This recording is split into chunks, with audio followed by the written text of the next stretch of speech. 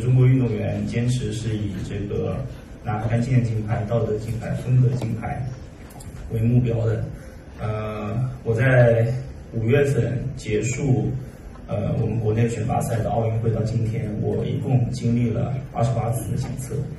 我粗略算了一下，基本上二八四的话，也就是意味着可能每周两次这样的这样的次数。嗯，在不定期的时间，包括我从呃七月五号到这个奥运会进分之前吧，在两周多的时间内检测了十一次。我想，呃，这些东西应该都能够足以证明我们这样子的在备赛过程中的一些东西吧。